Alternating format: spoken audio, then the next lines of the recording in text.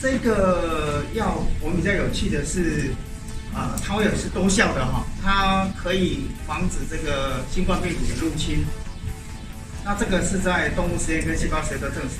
大数据应该是 AI 的关键嘛。那我们就从 SARS 的大量资料去推啊、这个新冠病毒的的药物哈啊，我们大概从去年的二月哈，呃，就开始进行这样的一个计划哈。这个数十万个里面或者 FDA 的这个药库里面，有一些相似的康方哈，它就会跟这个火箭哦，在当地的相似的位置上。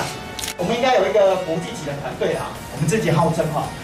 那整合智慧计算、细胞跟动物实验哦。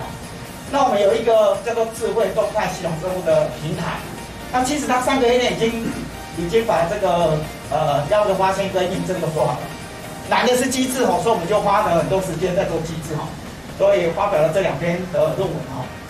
那 GM 二零六是大的重点中啊重点啊，就是它应该既有创新跟临床价值啊。那刚才可以看到细胞跟动物实验哦，应该是有强数十倍哦。它是多功效的，抑制新冠病毒的入侵、复制跟降低哦啊那个免疫红爆哈。那这个是老鼠的肺部的含量哈，病毒的含量啊，健康二零六也可以大幅的下降它哈。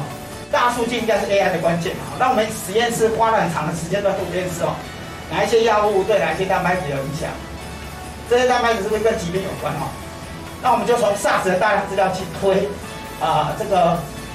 新冠病毒的的药物哈，动物实验哦，这是去年的十二月才刚出来的，大家可以看到，这是天数哈，这体重，那胃的细纹当然是在这里哈，那结完二就这里哈，哎，你看它的毒性比较低哦。这个药我们比较有趣的是，啊、它会有是多效的哈，它可以防止这个新冠病毒的入侵。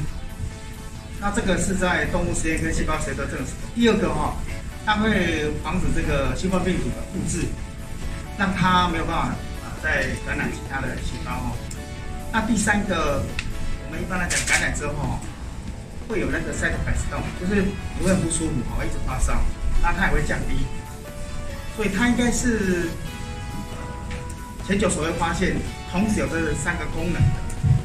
那在